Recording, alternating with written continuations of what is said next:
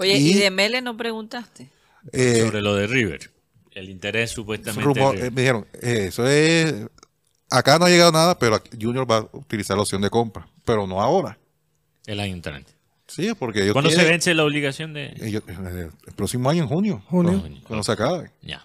No hay mucho tiempo para. Sí, o sea, ¿Cuánto i- es la- igual, igual la primera opción la, la tiene Junior. Exacto. No, no, no. Junior, o sea, aunque River quiera a Mele, Junior va a comprar a Mele. A, Sí, al claro. jugador, eso. Sí, sí, sí. Aunque sea para vendérselo a Eso, es River. pre- eso es, lo usan como para presionar.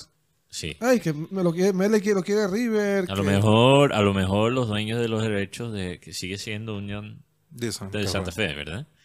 O Plaza Colonia. No es Plaza Colonia, porque Ah, él, estaba, él estaba en Unión de Santa Fe. Plaza- Prestado. Prestado. Ok, entonces Plaza Colonia sigue con los derechos de Mele. Ok, Sí. a lo mejor Plaza Colonia necesita el billete y para presionar a Junior para que después negocie No, supuestamente con River no, quieren no que se puede porque ya está firmado el, el contrato. No, y No, no, no, y de para que lo pague igual más rápido. Dudo, Mateo, dudo que el Junior deje perder a Mele. No. Eso sería una. Todavía no.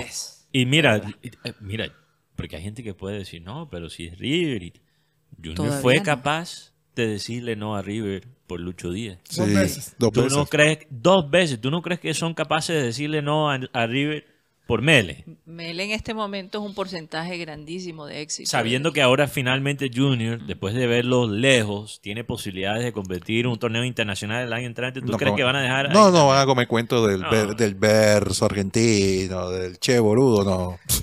Sí, No, y el verso calvo, que es el que tira la noticia. Sí, porque es que la noticia sale de Carlos Antonio Bueno. Sí, ese sí, es el sí. tema.